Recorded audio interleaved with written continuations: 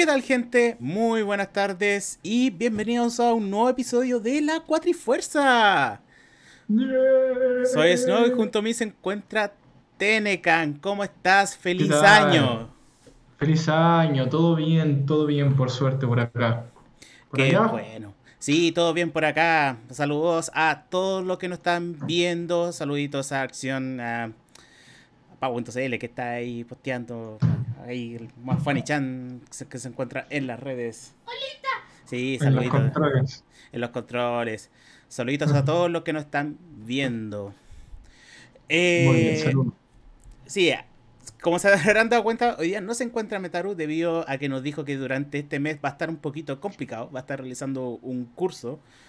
Y por lo mismo, eh, por estos dos meses, dado que también estamos en un periodo que son como vacaciones y van a estar un poquito lentas las cosas, preferimos eh, hacer la cuatrifuerza cada dos semanas. Correcto. Por lo mismo, eh, vamos a volver los días lunes y la próxima transmisión se va a realizar el día 17 de enero, después el 31, el 14 de febrero. Ahí, de, ah.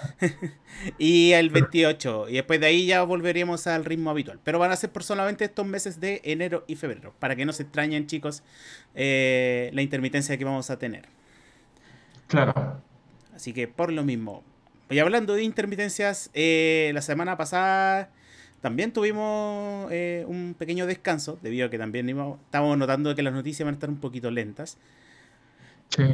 Así que por lo mismo, eh, quizás vamos a tirarnos de lleno con todas las noticias que han pasado. ¡Oh! ¡Oh! Se iluminó todo. Sí. Prendieron la luz. Ah, la, la, la magia de tener todo prendido. Sí. Tranqui, tranqui. Así que vamos de lleno con las noticias porque están bastante cargaditas y con noticias bastante deprimentes para comenzar el año. Bueno. Ah, bueno. yo o quieres partir tú, Pato? No, hagamos la tónica, aparte tú nomás, Tenecan. Ya, eh, sí, yo tengo noticias, uh, tenemos unas noticias, partamos con algo bueno, porque siempre, yo creo que, yo creo que hay que partir por lo bueno. Vale. Vamos a, hay, hay un poco de noticias bastante interesantes, a pesar de que, bueno, sabemos que en esta época del año más o menos no hay mucho, pero la verdad es que a pesar de todo ha sido un comienzo de año bien, bien, bien noticioso. Partimos con algo que probablemente pasó por debajo del radar de mucha gente que tiene que ver con Zeldathon. Zeldathon es un tremendo equipo de gente, una comunidad de gente que hace maratones de Zelda, eh, de todos los juegos de Zelda. Eh, en pos de caridad. Entonces, esto se llevó a cabo la más reciente edición eh, durante este fin de año. De hecho, se llevó a cabo desde el 27 de diciembre hasta el 2 de enero, o sea, hasta ayer. Ayer recién terminó, estuvo muy entretenido lo que alcancé a ver por lo menos de, de esta Zone. Se juntó 175.390 dólares eh, que se entregaron a la caridad de St. Jude's en un hospital de, de, research, de investigación, de obviamente de enfermedades de, niños. Así que una muy buena caridad, estuvo muy entretenido el evento, eh, siempre obviamente lo que tiene que ver con speedruns y maratones de, de juegos a mí me encanta, así que muy recomendado que chequeen, si no me equivoco quedaron varios de los VODs ahí para que los vean en Twitch. Eh, eso, muy bueno, muy entretenido y la verdad es que este Zelda Zone se está convirtiendo ya en una en un gran nombre dentro de lo que es Twitch y dentro de lo que son los eventos relacionados con calidad de videojuegos, así que muy entretenido y muy recomendado. Genial, qué bueno que existan este tipo de iniciativas que se hacen campaña. Aquí en Chile se llevó a cabo hace una semanita atrás también una campaña, diversas campañas eh, por diversos streamers. Entre ellos la, la Ruchan que realizó un, streaming de cuyo eh, eh, fondos se reunieron para donarlo a los niños del Sename. Y también, ah, para, y también eh, se realizó una iniciativa similar de Colemono, que le fue sumamente bien. Recolectaron más o menos 5 millones para una fundación que se dedica a regalar almuerzos para gente con necesidad. Sí, así que me gusta cuando este tipo de iniciativas se llevan a, a diverso público que no solamente sirve para entretener, sino que también eh, es un acto de caridad. Correcto. Bueno, y hablando de eventos, se viene uno de lo que es siempre uno de los grandes eventos del año y que siempre es a principio de año. Se, eh, lo estuvimos conversando durante el 2021 acá en el programa porque no estuvo exento de controversias.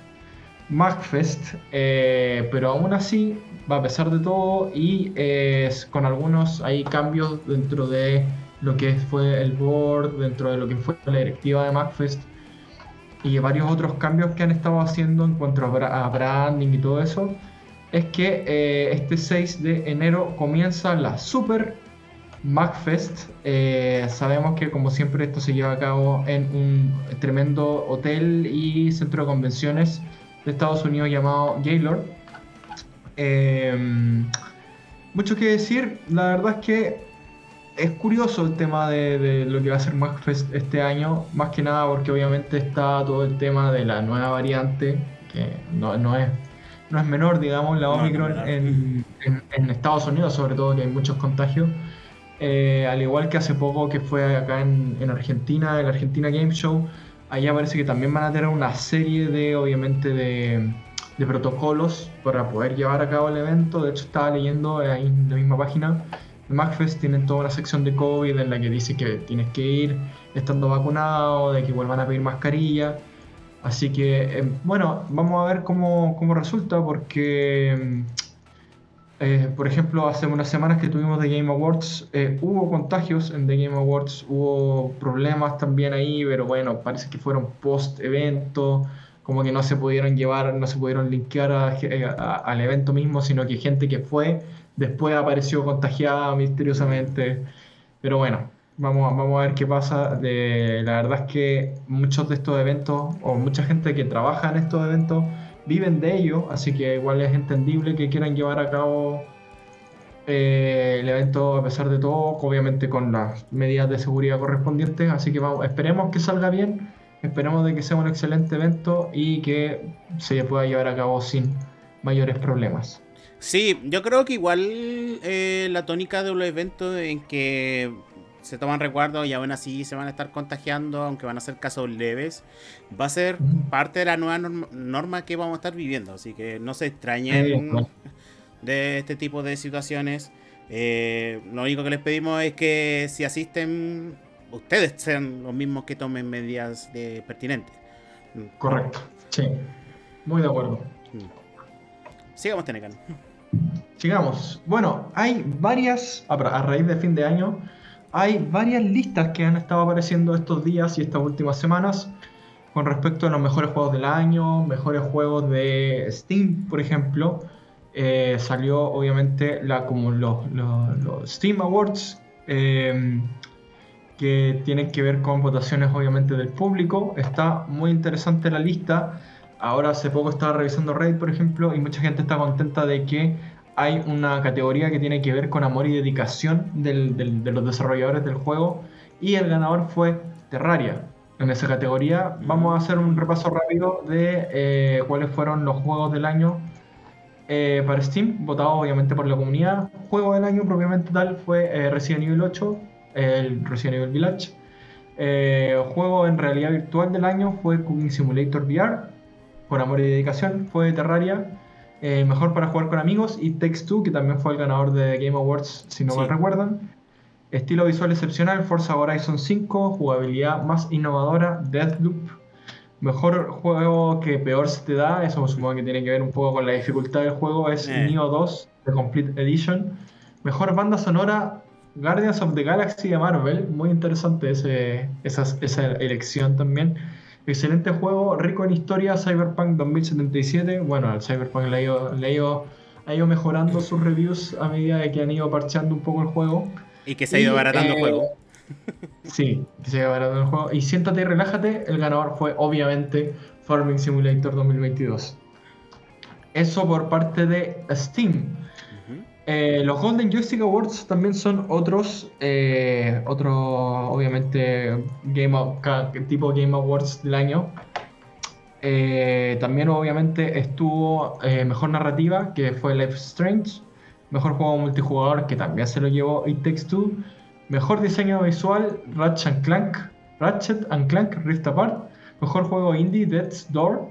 Mejor estudio del año, Capcom, grande Capcom. Mejor expansión, Ghost of Tsushima, Iki Island.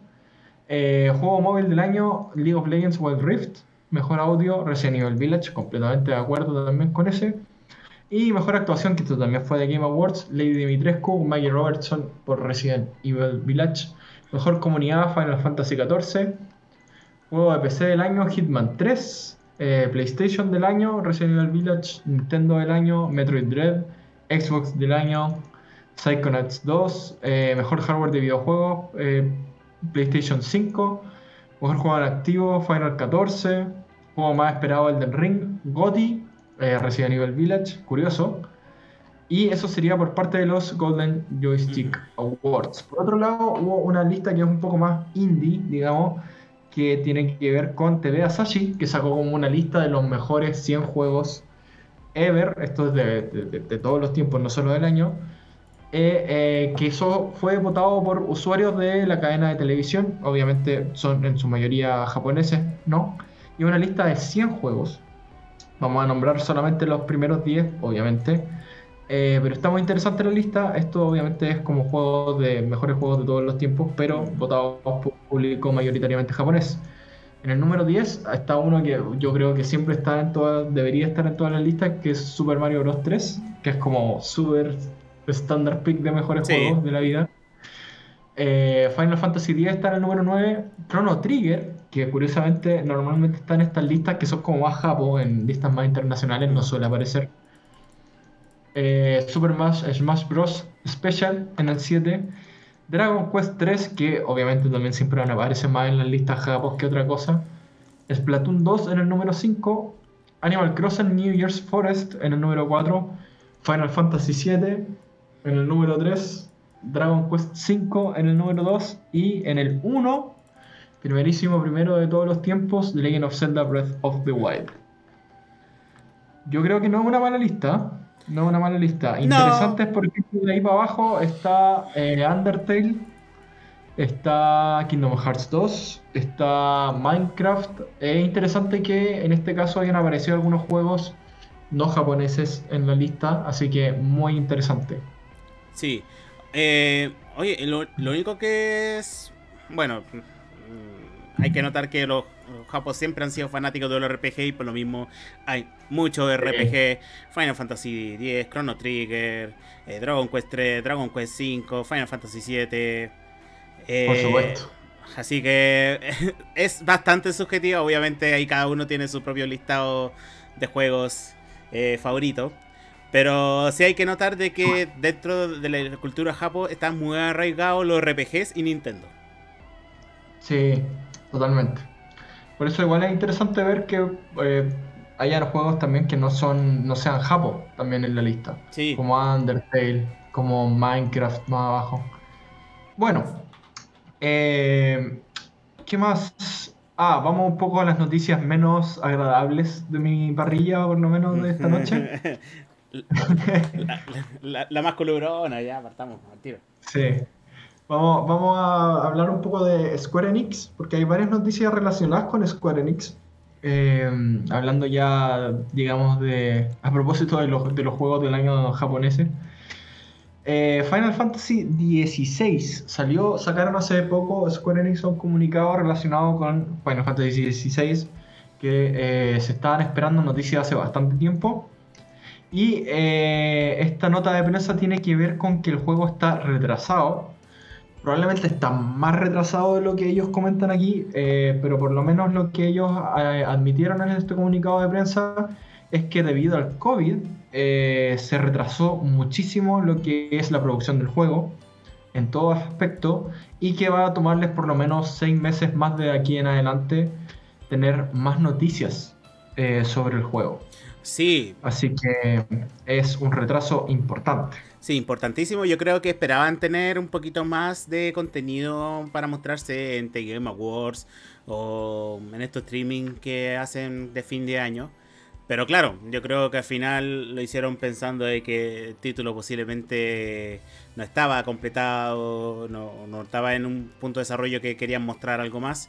Y por lo mismo, esto por lo menos viene a justificar de que tienen un... Ya no es retraso elegante seis meses, pero, pero mejor que ahora digan de que sí, el juego se va atrasado, así que vamos a requerir más tiempo, a que ya esté cerca el lanzamiento y, sientan la presión de los fans. Correcto. Así que eso por Final Fantasy XVI, que yo diría que fue uno de los grandes ausentes de, de, Game Awards y de estos de esta lanzamientos o, eventos de lanzamientos y anuncios de, del año pasado, ¿no? Eh, siguiendo un poco de la línea de Square Enix, vamos a entrar en uno de los tópicos que yo creo, yo creo que es una de las cosas más em, complicadas de hablar relacionadas con videojuegos que hemos tenido últimamente y que venimos hablando desde inicios del año pasado, que es que tiene que ver que ahora Square Enix se sumó un poco al carro, por lo menos en cuanto a declaraciones, eh, al mercado NFT eh, para la gente que todavía no tiene muy claro lo que es NFT, son básicamente eh, criptomonedas llevadas al arte, por decirlo de alguna manera. Eh, básicamente lo, que sucede con los NFT es que hay un tema de, de que se le trata de dar un token digital para que como que verifique que ese ítem es único, por decirlo de alguna manera. Y eso ha tenido un montón de de, usos en el mundo del arte digital, eh, tanto en música como en arte ilustraciones, y ahora últimamente se ha metido fuertemente a lo que es el mundo de los videojuegos. Hablamos la semana pasada o hace unas semanas sobre que Ubisoft se estaba metiendo en esto y un poco a ciegas, porque como que no tienen mucha idea de qué es lo que quieren hacer. Square Enix tampoco tiene mucha idea de lo que quieren hacer, solamente fueron declaraciones de parte de, de la directiva y de los del CEO, si no me equivoco, que fue como, sí, ¿saben qué? Nos interesa esta cosa de los NFT, aseguran de que el, los blockchain es como el futuro y que están interesados en empezar a trabajar con el tema. Y obviamente eh, no fue muy bien recibido por los fans. ¿Por qué? Porque obviamente hay un tema eh, de, de, que vamos a, vamos a tratar de eh, entrar más en detalle más adelante, pero hay un tema con robo de arte, hay un tema de que la tecnología no está bien refinada todavía, hay un tema ambiental de por medio. Entonces, eh, como siempre, el mensaje es como investiguen sobre el tema, no se queden en como, ah, es que las empresas están empezando a hacer esto, así que por lo tanto está bien, y la gente se está quejando, por lo tanto está mal, sino que háganse ustedes una opinión al respecto e investiguen qué es los NFT cómo funciona más o menos el tema. Sí les puedo decir eh, de que es un poco irónico, por lo menos. varios, varias gente que está relacionada con Square Enix eh, habló de lo irónico que es esto, particularmente por todo lo que tiene que ver con la parte ambiental de los NFTs, porque bueno, uno de los juegos más conocidos y que está ahí en el top 3 de los mejores juegos de todos los tiempos y que le hicieron un remake más encima hace poco, que es el Final Fantasy VII, tiene que ver mucho que ver con lo que es la conciencia ambiental también. Así que es curioso, por lo menos, eh, que Square Enix se esté metiendo en esto teniendo en cuenta ese tipo de contenido y un poco el mensaje de los juegos que tienen. Pero bueno, eso ya es como arena de otro costal, ¿no? Eh, pero sí, además otra noticia interesante relacionada con esto es que el efecto eh, en los fans no ha sido menor, ya que eh, fans de Final Fantasy XIV, que además, bueno, ha tenido una cantidad importante de crecimiento de, público últimamente, debido a todo lo que pasó con Blizzard y qué sé yo, y bueno, las, noticias que hemos venido dando este último tiempo, las nuevas expansiones y todo eso, de hecho hablamos hace poco de que estaban teniendo tanto público de que tuvieron que cerrar el juego y dejar de vender copias. Em, la comunidad del Final Fantasy XIV, que de hecho salió además en The Game Awards como la, mejor comunidad, digamos, de, videojuegos del año y en otros en otras, digamos, eh, premiaciones también salieron como mejor, mejor comunidad, mejor fan, fan base, digamos, del juego, qué sé yo. Eh, han estado debatiendo harto sobre el tema del anuncio de Square Enix y han incluso amenazado con abandonar el juego si es que Square Enix fuera a seguir con el tema de, de los NFT. Así que muy, muy interesante ver cómo se va a desarrollar este tema. Eh, en el subreddit, sobre todo de Final Fantasy XIV, está muy álgida la discusión.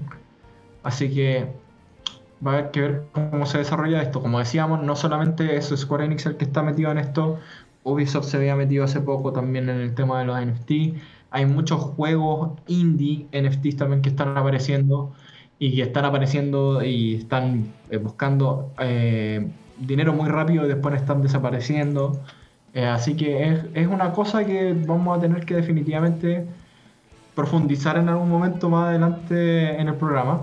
Sí, que... ya, ya hemos hablado de que va a ser necesario sentarnos a hacer un, un mini foro para conversar de lo que se viene mm. con respecto a NFT, analizarlo bien ¿Y por qué considerarlo que bajo el paradigma actual que se está manejando los NFT no es una buena idea?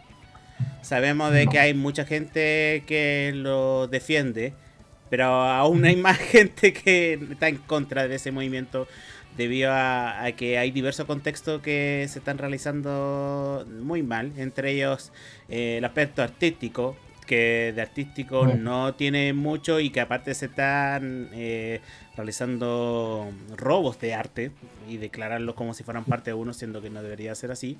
También hay recursos económicos que se están considerando como ciertos lavados de dinero, que ahí pues, es, disputable.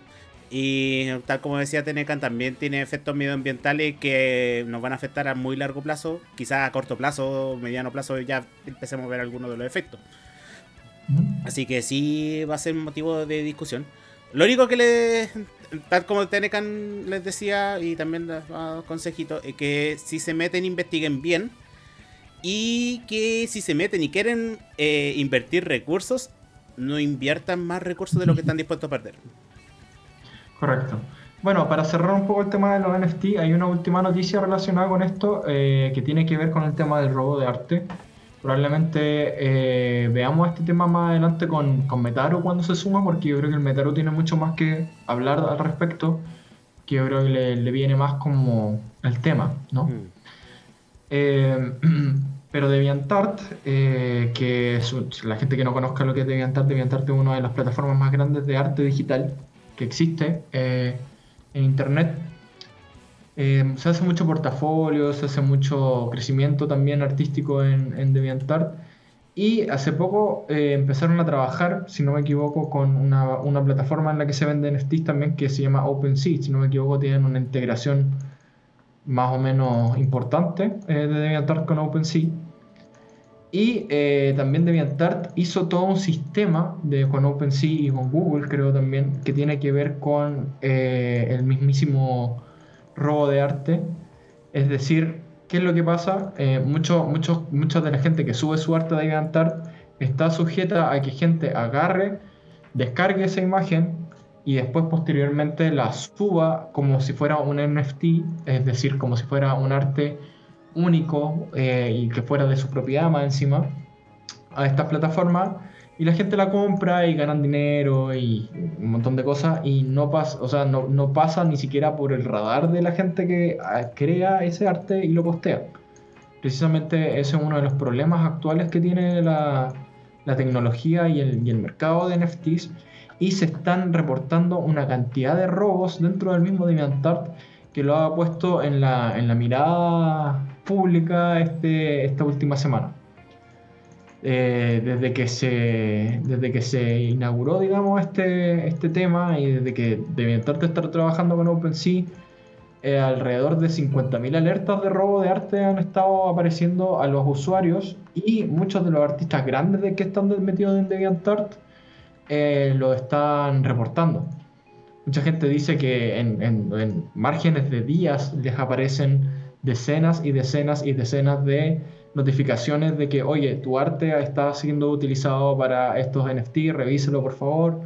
Este, Lois, eh, RJ Palmer, entre otros grandes artistas que se, digamos, utilizan DeviantArt de forma regular y que son conocidos dentro de DeviantArt eh, han tenido que utilizar Twitter para, para, salir a decir, oye, esto no está bien, me están llegando notificaciones a cada rato de que me están robando el arte, así que, no sé, es un tema complejo.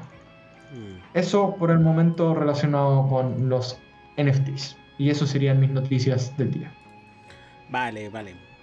Sí, como se, se ha dado cuenta, partimos el año eh, recibiendo estas críticas con respecto al NFT, que nosotros ya lo habíamos analizado durante el año de que cada vez se vuelve eh, más tóxico, más turbio el, tema y que vemos que igual a corto o mediano plazo no va a mejorar mucho la situación que digamos. Hmm. Así que esperamos de que sea la misma gente que tome medidas pertinentes. Y bueno, eh, nada más que aportar. Sigamos con mis noticias porque el día de ayer, el 2 de enero, fue el día con más usuarios concurrentes en Steam. Wow. Sí, justamente eh, estuvieron revisando estadísticas de uso de los usuarios. Igual la situación pandémica ha hecho de que eh, Steam eh, esté siendo muy ocupado.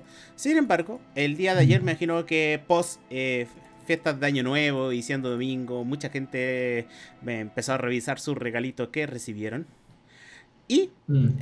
dentro de los logs, que esto se puede igual revisar por el, sitio llamado SteamDB, que es como la base de datos que tiene externa los usuarios para poder revisar estadísticas de Steam, se dieron cuenta de que eh, habían 27.9 millones de usuarios conectados en Steam. ¡Wow! Eh, igual esta estadística, eh, si bien es impresionante, eh, se ha dado cuenta de que ya estaba siendo un poquito más recurrente dentro de los últimos días. Sobre todo los días domingos, que mucha gente se está conectando para poder jugar ese día. Y ya es el onceavo domingo seguido de que se encuentran con que hay varios usuarios concurrentes. ¡Wow! bueno, es que sí, pues, igual influye, influye yo creo que muchas cosas, influye la, nueva variante como estábamos conversando antes, influye que es fin de año, influye los feriados, influye un montón de cosas. Sí, influye también de que eh, no hace mucho, antes de los Video Games Awards, si mal no me equivoco, se había llevado el las ventas de invierno de Steam. Ah, claro, sí, de hecho creo que todavía están, ¿no? Sí. Todavía están. Sí, mm. así que igual considerando que muchos usuarios renovaron su equipo o que estaban en ese proceso y los juegos igual estaban siendo eh, tirándose con precios bastante asequibles, no es de extrañarse, pero sí es bastante interesante analizar de que eh, hayan tantos usuarios. Mm. Haya aumentado un poquito más la población considerando en años anteriores. Ah. Antes de continuar, te mandamos saluditos a Darren Farrun, Felipe Gamer, que se han dado una vueltita también. Saluditos chicos, feliz año. Feliz año. Sí. Sigamos. Eh, hace no mucho, eh, unos días atrás, Nintendo publicó un listado con los juegos indies más vendidos del 2021. Wow. Eh, igual es interesante este listado, considerando que Nintendo casi nunca publica esta información, así que o por lo menos lo hace con respecto a sus títulos. Eh, dentro del listado podemos encontrar a Cyber Shadow, Unpacking, eh, Tetris Effect Connected, Steve Fight the Game, Curse of the Dead Gods, Ender Lilies, Doki Doki Literature Clubs Plus, Spelunky 2, Road 96, Subnautica, Subnautica Below Zero, Little Good, Islanders Console Edition, Slime Rancher Portable Edition, Is Worry Bird 2, como los juegos con mayor ventas en la plataforma para este año. Oye, ¿y Hades? ¿O será que ya no consideran a Super Giant Games como una como indie? No, no. eh, posiblemente haya sido eh, uno de los juegos más vendidos, pero del año pasado. Recordemos que Hades igual lleva su ah, verdad. referente del, por lo que fue el periodo 2020-2021. Claro, toda la razón. Toda la razón. Eh, igual eh, interesante de que hagan este tipo de, demuestra de que por lo menos para la comunidad indie es importante la plataforma. Mm. Totalmente. Y obviamente, eh, si mm, revisamos una semana atrás, también Nintendo publicó un listado con el juego que es más vendido en la Switch. Y como primer lugar se encuentra el Mario Kart 8. Por supuesto. Mario Kart en la pandemia ha sido una cosa de locos. De locos. Sí.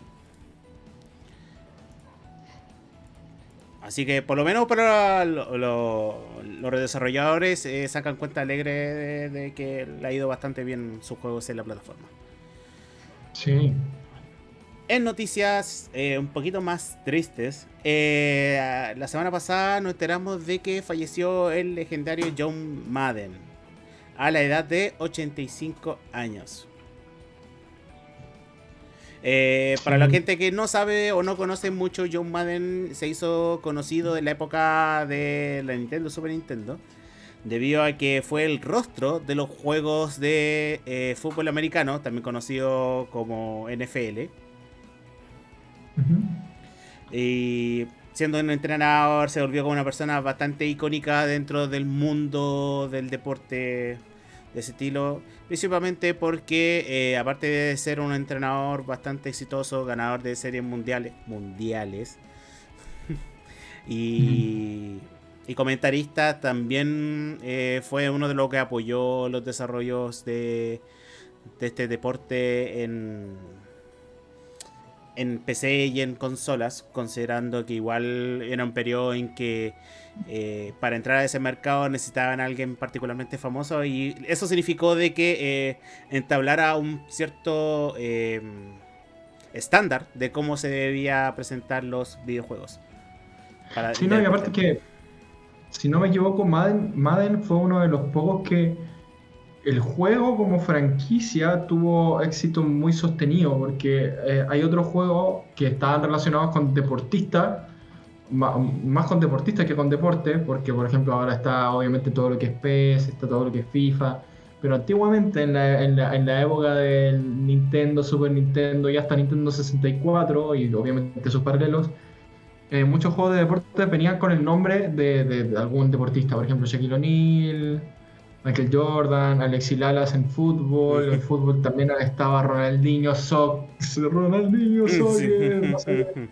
Y muchos de esos juegos tuvieron uno o dos y murieron. Entonces Madden tuvo un, digamos, un incremento sostenido de franquicia mucho más, de la redundancia, sostenido, consistente y que perduró mucho más en el tiempo. Claro, eh, igual de, dentro del juego que sacó fue revolucionario porque siendo John Madden comentarista en ese entonces, fue uno de los primeros que integró voces. Eh, para los juegos de mm. deportes. Lo cual también significó de que fueron una parte de la tendencia que se vio dentro de los siguientes títulos y ya se volvió eh, algo que es necesario dentro de los juegos de deporte que incluyan comentarios o comentaristas. Sí, un estándar. Sí.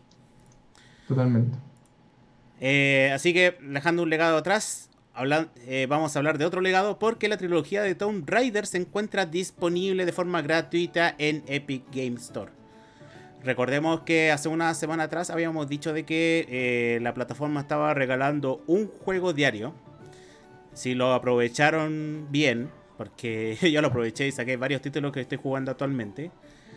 Y mm. eh, el último juego que se puso en vitrina y que está disponible durante toda la semana es justamente la trilogía que se puede encontrar.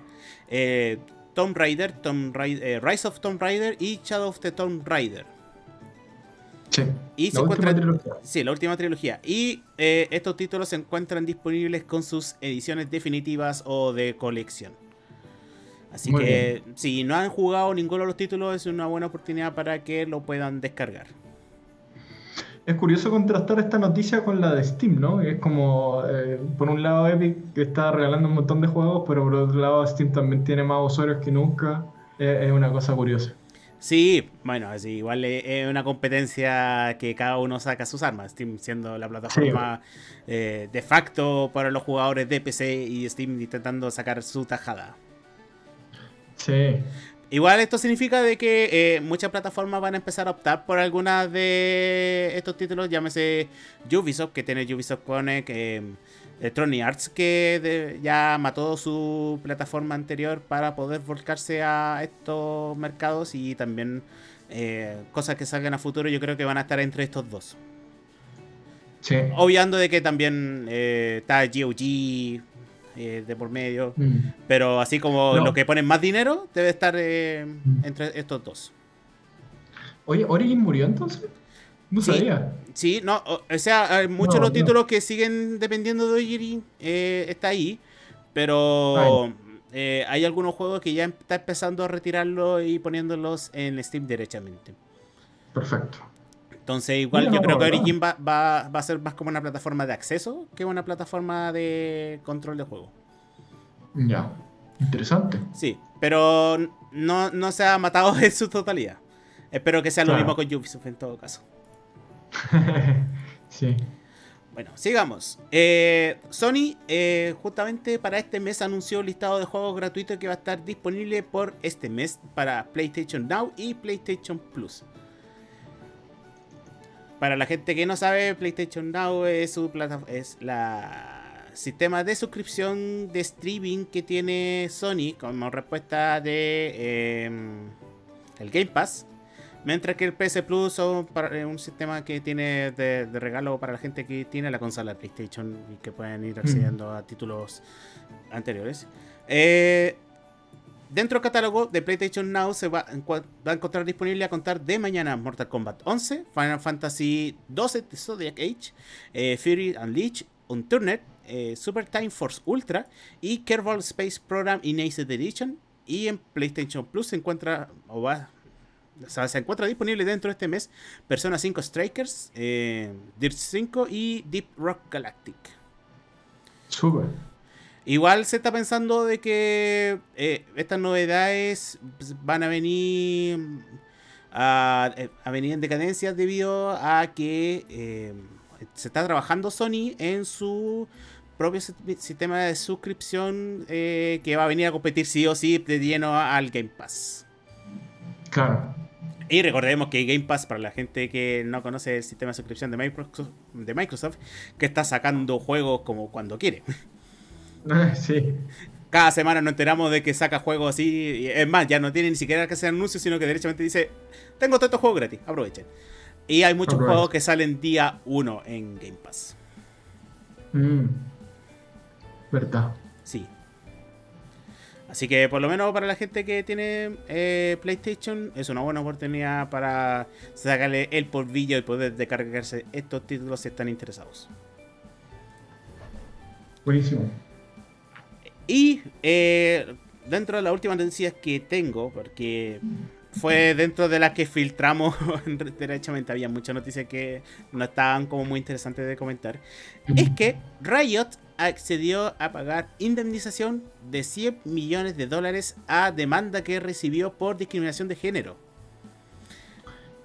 Esto lo habíamos hablado anteriormente eh, de que Riot había recibido una demanda en el 2018 debido a que justamente recibió eh, discriminación eh, de género una persona que trabajaba ahí en una cultura que era principalmente machista y que eh, también salió a la luz luego de una investigación que llevó a cabo un sitio de noticias eh, y que obviamente desencadenó una serie de acciones, entre ellos que fue esta demanda. Y eh, finalmente, para no seguir el juicio, decidió Riot acceder a una paga de 80 millones de dólares a las personas que demandaron y otros 20 millones en pagos de abogados. Wow. Y obviamente también eh, accedió a tener una investigación de lleno por la Comisión de Empleo Justo de California. Para obviamente eh, eh, ¿cómo se llama? Eh, mejorar sus ambientes laborales y, y con esto también que mejore un poco la perspectiva de la compañía. Correcto. Riot ha pasado un poco, o sea, en un principio como que Riot era el que estaba como más involucrado en un montón de demandas y de acusaciones de, de, malas praxis de trabajo, de discriminación de género y un montón de cosas. Y como que pasó jabonado y ahora, bueno, ahora está pagando, pero, pero siento que igual dentro de todo han sido los que han salido más aireosos dentro de, de, las comparaciones con Blizzard, con Ubisoft y con otras empresas también. Sí. creo que lo, creo que lo han manejado peor. Riot creo que dentro de todo es de las pocas que lo ha manejado más o menos bien.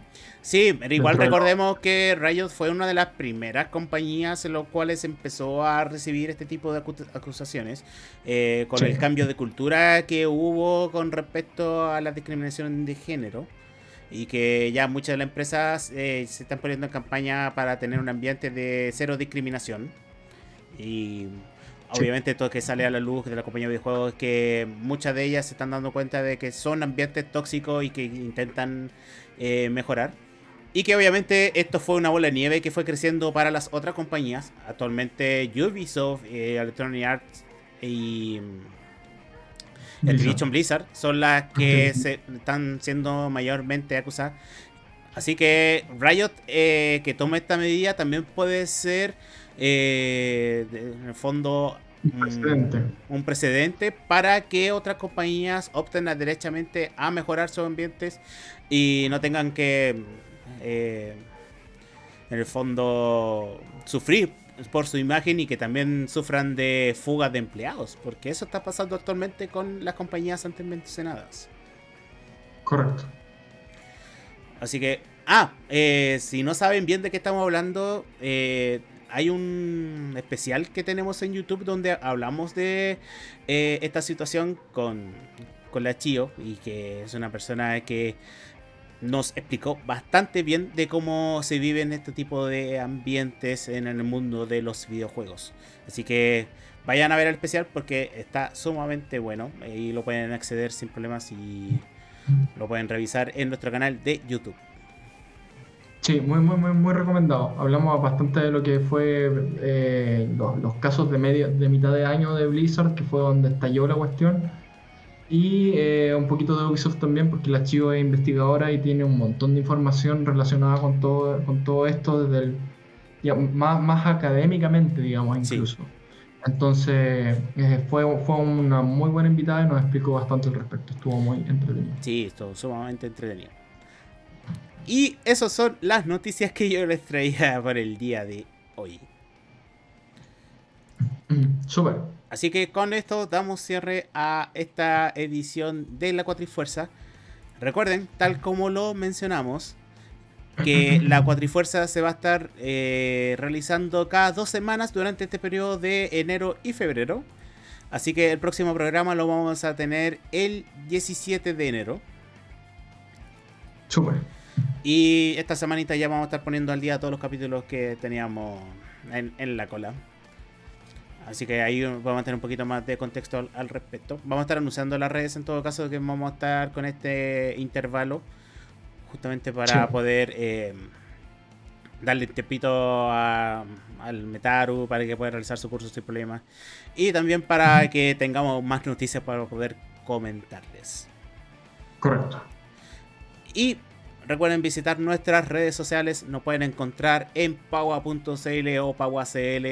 Eh, nos pueden encontrar en Facebook, en Instagram, en YouTube, en Twitter y en Twitch. También nos pueden pillar como la Cuatrifuerza en Instagram.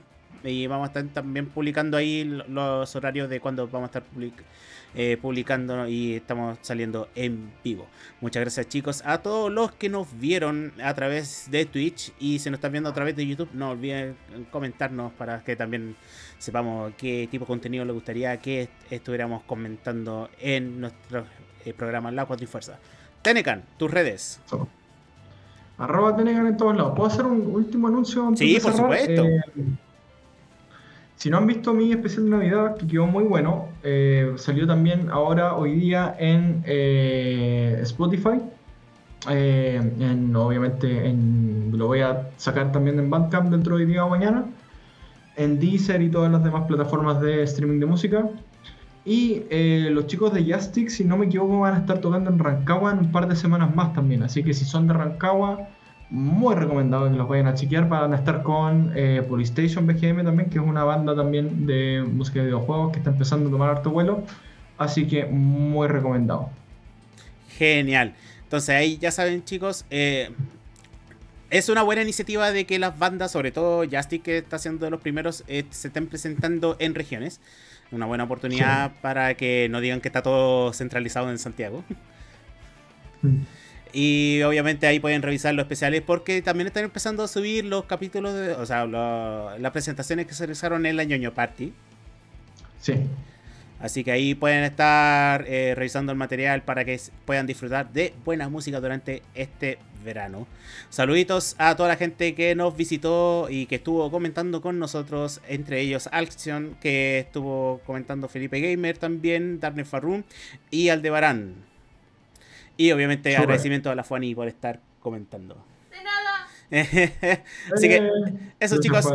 Nos vemos en dos semanitas más. Cuídense y disfruten de este veranito. Recuerden refrescarse, eh, vacunarse dentro de lo posible y cuidarse que todavía estamos en pandemia. Eso chicos, hasta la próxima semana. Chau, chau. Chau.